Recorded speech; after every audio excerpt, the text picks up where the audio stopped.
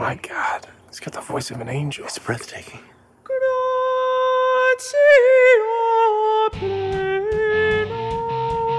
Four years ago, 2009, when you first set out on this journey with the first Hangover movie, did you ever in your wildest dreams think, you know, four years later that we would be sat here now celebrating the Hangover Part 3?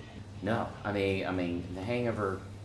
I don't know that. I mean, I owe my whole career and my success to the Hangover franchise, and so I, I just in no way envisioned that this would be this impactful. I knew it was.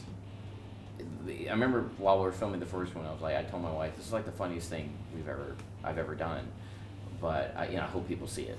So that's what I kept thinking, and and um, and boy, did they see it. I mean, it really just. Uh, like I said, it, it just it just gave me a career. It just um, I it's my favorite people I've ever worked with, and um, you know, they're, they're they're all like family to me. I mean, it just I don't know. I it the, the amount of love I have for them, mm, you know, uh, in entertainment is really just un, unparalleled.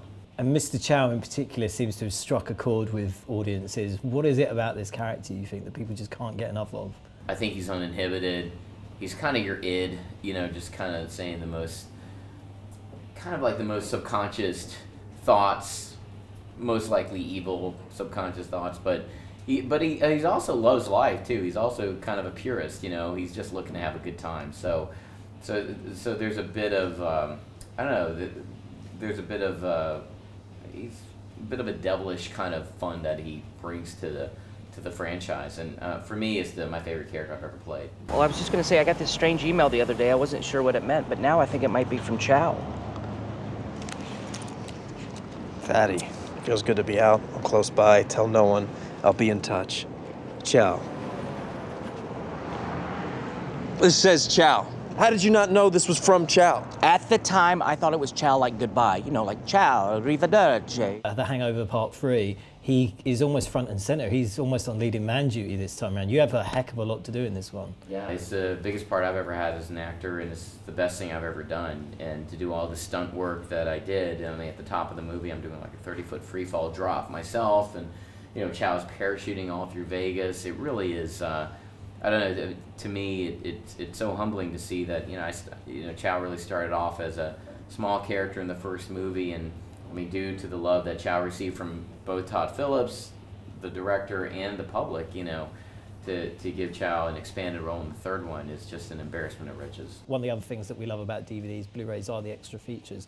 Is there any other extra features you can tell us to look out for with uh, The Hangover Part 3 that you know of? That... I mean, the main thing is a documentary of this, because it, it, it's, I believe it's like uh, over an hour long of, of, of just uh, amazing anecdotes, things I didn't know about about the Hangover trilogy, how it was made, how it came about. So it was so informative even to me, and um, it, it, it, it's great. It, it, it really just everything you wanted to know about the Hangover is, is in that, and, and even pieces of info that I didn't know.